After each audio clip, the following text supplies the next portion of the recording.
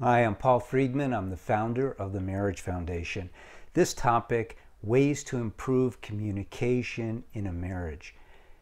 I'm very close to this because before I became a marriage helper over 20 years ago, I was a divorce mediator. And guess what? It's all about communication. It's all about finding, in divorce mediation, it's all about finding common ground.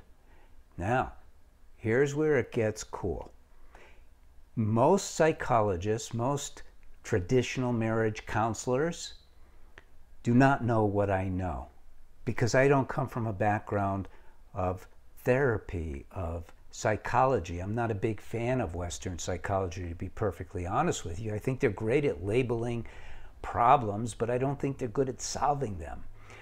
And so what I did was I unraveled marriage. I started with the basic core question why do people get married in the first place? It isn't to communicate, it's to be happy. So the whole thing is very different. The kinds of communication skills you need in marriage are vastly different from the communication skills you need everywhere else in life. I created some wonderful techniques. For instance, the uh, tabletop technique, which is great. I'll teach it to you right now. You'll use it in other areas of your life. But I don't want you to use it in your marriage.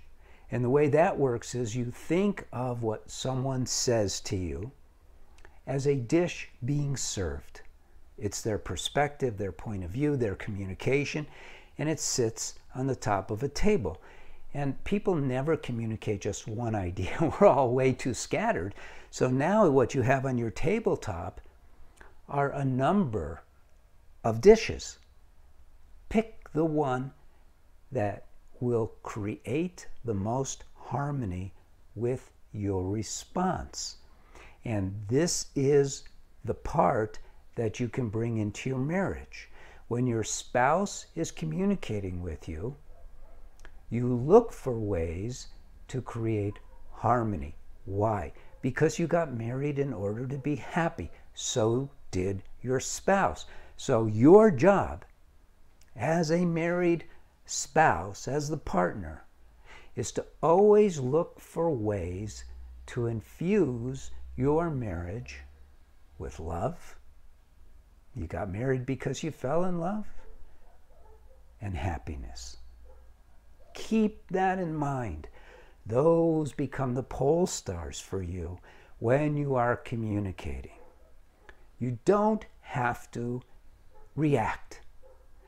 It is a typical tendency for people that as soon as they hear something, they believe they have to react. Joe Schmo said this, got to react got to react. But you don't. Not saying anything or smiling is fine. Now, being a jerk and giving rolling eyes or, you know, looking the other way or a snarl, that's a reaction. So, communication is not just what you say, but it's your facial expressions, it's your body language, all of that is communication. Now, I go into this in some depth in both of my books, and I also go into it in depth in the courses, which is we have them separated, one for men and one for women. But the courses go further. Now, when I was doing this live on the ground, and people would come to me, first they would call almost 100% of the time, they would tell me they're having communication problems. Well, sure, if things aren't functioning properly in the marriage, your communication isn't going to be positive. It isn't going to be good. So, really, although the topic here is ways to improve communication in a marriage, and we could go into that, it's, there's too much to do in one video there is a key element. And if you understand this key element And if you own it and you run with this, then not only will the communication in your marriage improve, but everything about your marriage will improve. And what is that key element? That key element, and I'm going to go further with this than just telling you because there's a, everything, there's a lot to it because everything we know about marriage from society is kind of a mess. The key element is love. And I'm not being corny, but everything has to do with where you're coming from. You see? So if you're in a communication scenario, in a venue that is combative, and you say something that is loving, well, that's transparent. The person you're communicating with won't trust you, nor should they. So, where you're coming from with your husband or your wife needs to be from your heart. You cannot just fix the outer stuff. You cannot just correct yourself when you're about to say something mean, sarcastic, or in other ways not loving into loving you have to change yourself. If you want to have a great marriage, and marriage is intended to be great, eh, think of it this way if you get a really great car and you get inside that car, and because it's an expensive car, and you turn on the radio, it's got a great sound system. But if you never learned how to drive that car, which is the real reason why you get a car, you're not going to have any fun with it. We don't know why we get married. Marriage has to be learned. And you get married for happiness and love. And it's designed, just like that car is designed to travel the road safely and smoothly to get you to your destination. Marriage is designed for smooth operating that produces love and happiness. So, going back to communication, when you're communicating with your spouse, it's not enough to know all these different techniques of communication. It's more important to learn how to master your mind so that it's not preventing you from going into your heart and coming from a place of heart. You see, we have different levels of consciousness, don't we? We know this. I'm just going to put it out there so it becomes a reality for you and not just, oh, yeah, that makes sense. We have a body. We're not the body, but we have one. The body is comprised of trillions of cells. Each one of those cells is driven by the drive to survive, self preservation. That's all your cells know. They're intelligent. They can't think, but they're intelligent, and they're constantly pinging your mind, reminding your mind, because you have a mind. It's a possession. You're not your mind. Hey, be careful. Watch out. Look out for that opportunity. Look out for that danger. And so what happens is if we're, and none of us are, but if we're just purely in the primal, which is the drive to survive, which is self preservation, well, we'd be a psychopath. But we're, that's one level. And it mixes with the other two levels. There's three levels. The top level is the level of love, the consciousness of love. You, the soul, if you didn't have a body, you still have a mind, but you have no body constantly pinging your mind to survive then you would live in what you would call bliss consciousness, the highest state of love and joy, because that's the nature of the soul. It's created in God's image, not fingers and toes, but consciousness. In between, so that state, that's why you got married, to experience that state. And your marriage should be driven as much as possible from that state. When you are in that state of consciousness, when you're seeing your spouse, when you're thinking of your spouse, when you're with your spouse, what comes out from your mouth, what is communicated from your body, your smile, your eyes, everything will be love, joy. And it becomes reciprocal, it gets very nice. So we as human beings get caught in the mind. We become identified with the mind. The mind is just a machine. It doesn't have a consciousness. It's just a machine. But what happens is we have this drive to survive, we have this holy, blissful state of consciousness, and it translates into, oh, what am I going to do today? And the mind is telling you what to do out of habit.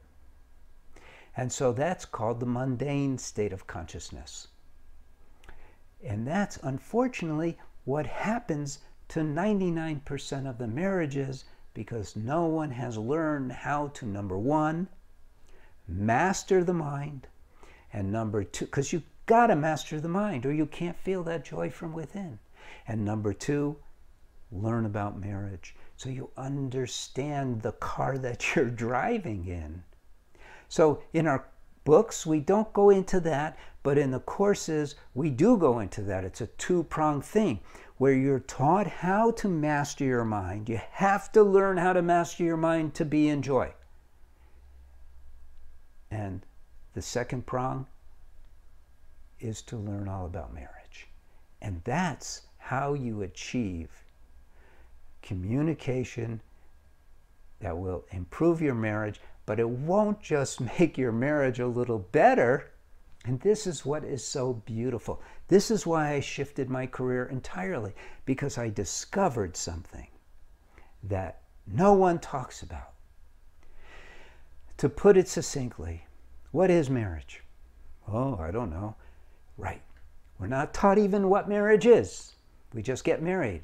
But I had to know if I'm going to help a couple, because that's what happened. A couple said, you know, we don't really want to get a divorce. We want to, can you help us? You're a great communicator. Can you help us get through this? Da, da, da. I studied marriage.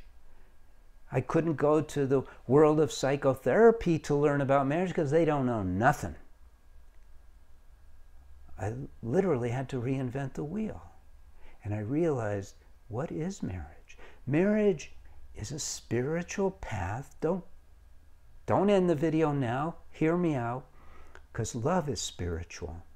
Love is not material, so it's spiritual. It's that simple. It's a spiritual path, meaning we get on that path individually.